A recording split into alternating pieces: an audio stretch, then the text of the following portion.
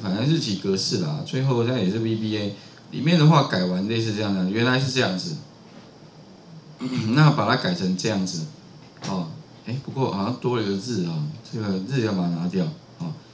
这截图好像没截好，OK 好，那这个地方的话就是在呃最后面哦，来看一下最后这个地方哈，哎，把原来的留下来，我是把原来那一段程式再复制贴过来。后面的话加上底线标准日期格式，好啊，至少你要留留下记录，不然的话你一直接改的话啊，旧的东西不见了，你可能要改不回去了。所以 里面的话差别就是哦，把这一行啊，我习惯是如果我改动过的话，我会把旧的也是留下来，前面加个单引号，在这一行复制贴过来。改什么地方特别注意哦，因为我这个地方前面是二零一五斜线，所以跟前面是一样的哈。And 什么那个 s，s 指的是什么呢？s 指的就是它的哪一个工作表一定从第一个，所以这个地方假设一的话，它要把一带过来。然后呢，这个地方就抓到什么？抓到它的那个哪一个呃工作表哦，哪呃哪一个就是里面的那个本来它的日期了哈。那不过它好像少一个东西。And 中间是不是还要少个斜，还要在 end 一个斜线？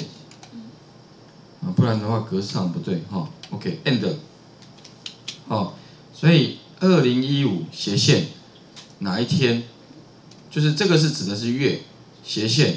，end 抓到的那个日期，啊，因为它是一定是 A 栏里面的那个日期的哈，所以抓到的话应该也是也是正确。好，